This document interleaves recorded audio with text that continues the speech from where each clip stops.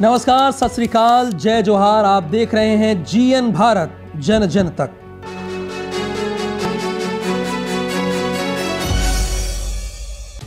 नमस्कार, मैं हूँ दिव्या रानी और आप देख रहे हैं जीएन भारत।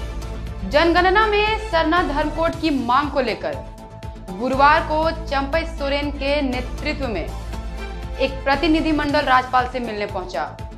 इस प्रतिनिधि मंडल में बीजेपी को छोड़कर शामिल सभी दलों के नेताओं ने राज्यपाल से मुलाकात कर उन्हें ज्ञापन सौंपा।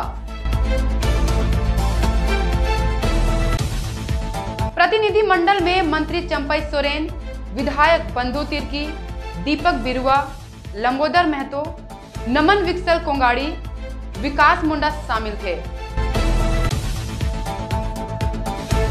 इस दौरान जेएमएम विधायक चंपई सोरेन ने कहा कि हमारा इतिहास बहुत पुराना है।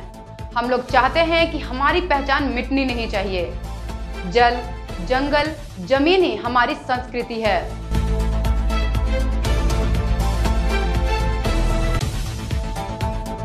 इस संदर्भ में 2021 की जनगणना में एक अलग सरना धर्म कोड निर्धारित किया जाना चाहिए, ताकि हमारी संस्कृति बरकरार रहे।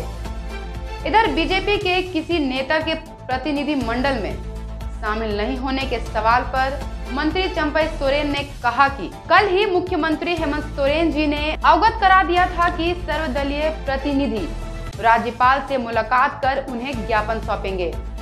इस दौरान विधायक बंधु तिर्की ने कहा कि जिस तरह अन्य धर्म का कोड है, उसी प्रकार हमारी भी सरना धर्म कोड होनी चाहिए, ताकि हमें यह पता चल सके कि हमारी जनसंख्या कितनी है। इससे हमारे समाज का विकास होगा।